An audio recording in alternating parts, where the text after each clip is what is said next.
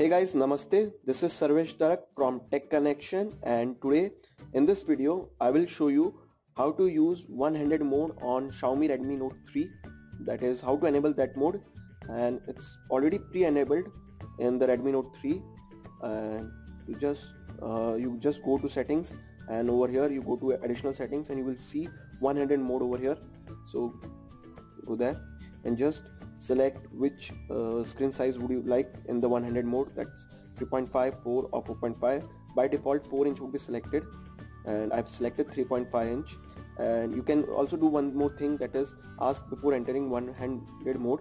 That is whenever you would like uh, the one-handed mode uh, the phone would confirm reconfirm whether you would like to enable it or it was done by mistake. So I've not selected that. So let's just try the one-handed mode. From center go to this side or that side wherever you need the screen.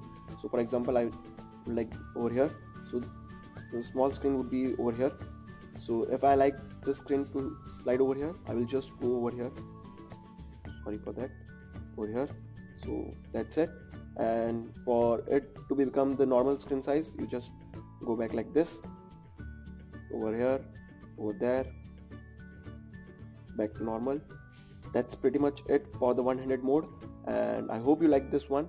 And if you did do hit the like button. And for more such videos do subscribe to my channel. This is Sarvesh Darak signing off from Tech Connection. Thank you for watching